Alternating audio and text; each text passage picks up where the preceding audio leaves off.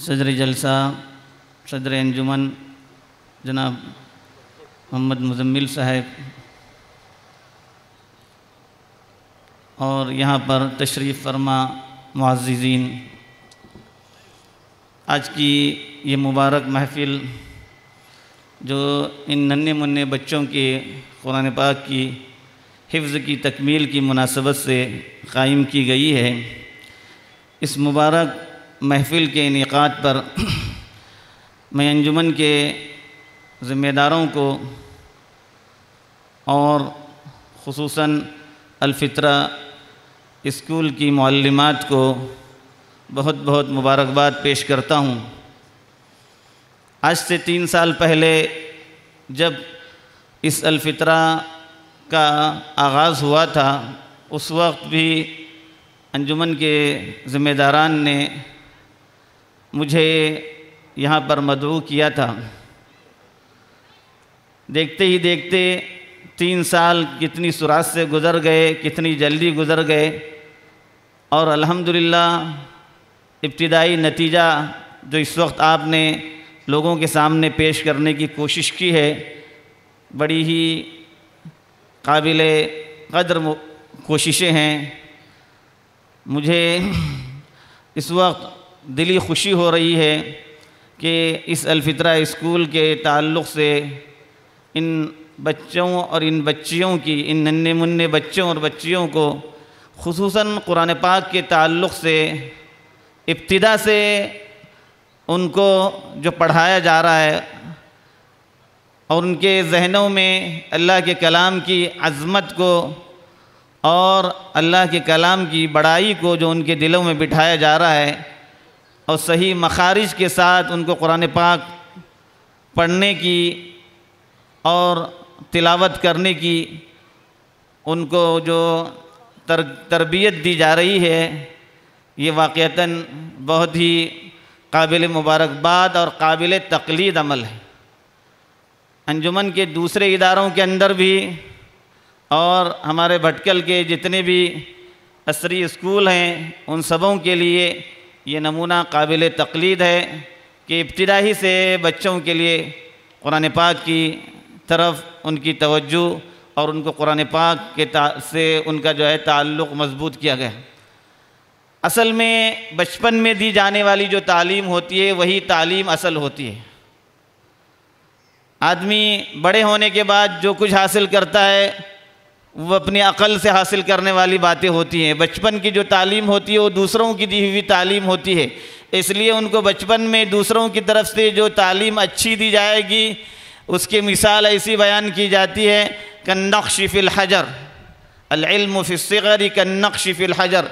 बचपन के अंदर जो इल्म पढ़ाया जाता है, वो ऐसा है जैसे पत्थर के ऊपर लकीर, पत्थर के ऊपर नक्श की हुई।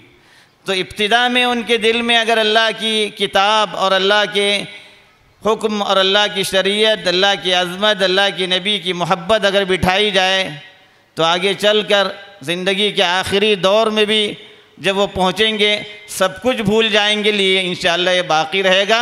इसकी मिसालें मौजूद हैं। हमारे अपनी बरदरी से ताल्लुक़ रखने वाले डॉक्टर हमीदुल्ला बहुत बड़े स्कॉलर हैं, आपने उनका नाम सुना होगा। कई ज़ुबानों के वो माहिर थे। फ़्रेंच ज़ुबान के अंदर उन्होंने कुरान पाक का तर्जुमा और उसकी तफसीर भी की है। और दसियों नहीं, सैकड़ों उनके जो है मुहाजरात, मकालत हैं। चौरासी साल की उम्र के अंदर उन्होंने एक दूसरी ज़ुबान भी सीख ली थी जो उनको नहीं आती थी। उनके मुतालिक लिखा है, लोगों ने उनके मुतालिक आता है, अपनी नवायती बरदरी से ताल्लुक़ रखते थे और वो फ्रांस के अंदर जाकर उन्होंने जिलावतनी की ज़िंदगी इख्तियार की थी। उनके मुतालिक आता है कि इतना सब कुछ जानने के बावजूद जब आखिरी वक्त उनका आया, उनके दिमाग से सब कुछ माह हो चुका था, ख़त्म हो चुका था। बचपन में मकतब के अंदर जो उन्होंने अलिफ बा पढ़ा था, वो अलिफ बा पढ़ रहे थे, उनको और कुछ नहीं आ रहा था।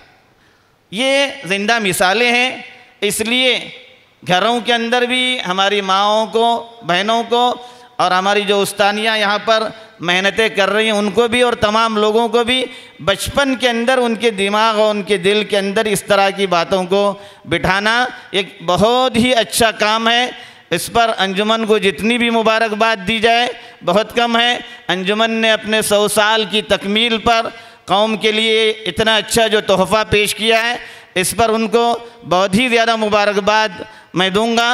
और उम्मीद है कि अब ये अलफित्रा स्कूल, जो इसके तीन साल, उसका पहला मरहला हुआ है, अब उसके अगले जो चार साल के मरहले के अंदर उनको और जो तालीम दी जाएगी, वो भी नहायत ही ज़्यादा मुफीद होंगी। हमारी जो मालूमत हैं, उनसे मुझे ये कहना है कि बच्चे, हमारे बच्चे आपके पास हैं। आपके ज़िम्मे है कि इन हीरों को किस तरह से आप तराशेंगे। ये हीरे, जिस तरह से आप तराशेंगे, आपके दुनिया से जाने के बाद ये हीरे दुनिया के अंदर रहेंगे और फिर ये हीरे कुछ और हीरों को तराशेंगे। ये आपकी ज़िम्मेदारी है। कौम ने आप पर एतमाद करके इन बच्चों को आपके हवाले किया है। आप जिस तरह से अपनी ज़िम्मेदारी अदा कर रही हैं, उस ज़िम्मेदारी को न सिर्फ़ अपनी ड्यूटी समझे, बल्कि अपनी एक ऐसी ज़िम्मेदारी जो अल्लाह की तरफ़ से आपको दी गई है, वो ज़िम्मेदारी समझें। और इसके एक एक मिनट पर अल्लाह तबारक व ताली इन आपको भरपूर अजर सवाब से नवाजने वाला है। खसूस इस वक्त जो हालात हैं हमारे, पूरे हिंदुस्तान के अंदर जो हालात हैं, इर्तदाद की तरफ़ जो हमारी जो हमारी जो है औरतों का जो जो सैलाब है, अभी मैं पढ़ रहा था दो तीन साल के अंदर लाख, डेढ़ लाख से ज़्यादा की तादाद लोग बयान करते हैं, अल्लाह आलम। हो सकता है, सही हो सकता है जुड़ो, लेकिन इर्तदाद की तरफ़ जो, जिस तरह से हमारी हमारी नस्ल का जो है इर्तदाद की तरफ़ बढ़ना हो रहा है ख़ास तौर से स्कूलों के अंदर पढ़ने वाले और स्कूलों के अंदर अगर मखलूत तालीम हो, मखलूत तालीम के ज़रिए उनकी जो, उनका जो जहन बनता है, उसके ज़रिए जो बिगाड़ आता है, जो फसाद आता है, उस फसाद और उस बिगाड़ के लिए हमारी ये कोशिशें न्यायत ही ज़्यादा काबिल कदर हैं और आप इन कोशिशों के सिलसिले में ये मत समझिए कि हम कोई बड़ा काम नहीं कर रहे हैं। यकीन आप बहुत बड़ा काम कर रहे हैं। ये बच्चे इनके दिलों के अंदर शुरू से अगर अल्लाह की आज़मत, अल्लाह का खौफ बिठाया जाए तो कल को चल कर इनके दिलों से जो है कभी अल्लाह की आज़मत मिटने वाली नहीं है। मैं एक छोटा सा वाक़ शायद इससे पहले भी मैं बयान कर चुका हूँ। आपके सामने बयान करके अपनी बात ख़त्म करता हूँ। मौजूदा ज़माने के सबसे बड़े स्कॉलर डॉक्टर यूसुफ़ुल करदावी का नाम आपने सुना होगा। चौरानवे, पंचानवे साल की उम्र है। कतर में वो हैं अलखवानमसलमिन से उनका ताल्लुक़ है। उनके मुतालिक जो आता है कि जब वो स्कूल मकतब में पढ़ने जाते थे, अभी तीन चार साल के बच्चे को मकतब में पढ़ने माँ भेजती थी। माँ उनको सिर्फ़ एक सबक याद, सबक सिखाती थी। हमारी माओं को समझना चाहिए, बच्चों को क्या सिखाया जाए। वो एक ही सबक सिखाती थी। देखो बेटा, तुम जब तक मेरी नज़र के सामने होते हो, तुम मुझसे डरते हो, मैं तुमको देख रहा हूँ, देख रही हूँ। देखो, जब भी तुम यहाँ से जाओगे, तुम ये समझना, अल्लाह तुम्हें देख रहा है।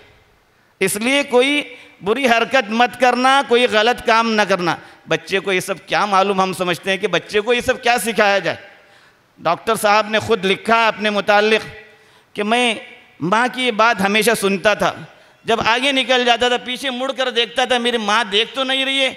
जब माँ पर से मेरी नज़र हट जाती थी, माँ का वो जुमला मेरे कान में गूंजता था और मैं कहता था, अल्लाह देख रहा था इसका मतलब कोई देख रहा है मुझे। तो ये बचपन की तालीम, बचपन में जो तालीम बच्चों को दी जाती है, बचपने के अंदर, उनके दिलों के अंदर जो अल्लाह की आज़मत अल्लाह की बड़ाई, अल्लाह का खौफ बिठाया जाता है, नबी की मोहब्बत बिठाई जाती है छोटे छोटे जुमले उनको याद कराए जाएँ, उनको सिखाए जाएँ, और वह इस तरह से उनके जहनों में बैठेंगे, कल को ये बहुत बड़े दर्जे पर पहुँचेंगे, लेकिन ये सब, ये सबक ये नहीं भूलेंगे। मैं एक मरतबा, फिर एक मरतबा, अलफित्रा की तमाम उस्तानियों को और अंजुमन के तमाम ज़िम्मेदारों को आज के इस जलसे पर और इस अलफित्रा की स्कूल के कायम करने पर और दीनी खतूत पर नौनिहालों की तरबियत के सिलसिले में आपकी जो कोशिशें हैं, उस पर आपको बहुत बहुत मुबारकबाद पेश करता हूँ। अल्लाह से दुआ करता हूँ। अल्लाह ताला आपकी इस, इन कोशिशों को बेानतहा कबूल फरमाए। नज़र बस से अल्लाह ताला सबको बचाए और दिन दोगुनी रात चौगुनी ये इदारा और हमारे तमाम इदारे तरक्की करते रहें। आमीन वाखिर दावाना अलहमदिल्ला रबालम